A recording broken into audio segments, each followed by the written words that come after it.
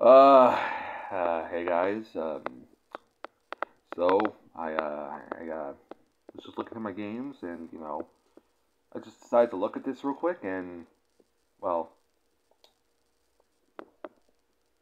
look at that, ten dollars. So I decided to, you know, so I saw that, then I went, you know, I was like, I'm gonna go back to the PlayStation Store, see if it actually is listed ten dollars on there. It says I need PlayStation Plus Premium to get the game. So I come back here to my list of games. It's like, you know what? I'm gonna hit this. I'm not really buying it. I'm sure it's just gonna add to the car or whatever, but I'm not buying it or anything.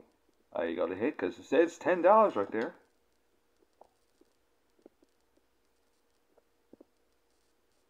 This item is available exclusively for PlayStation Plus members.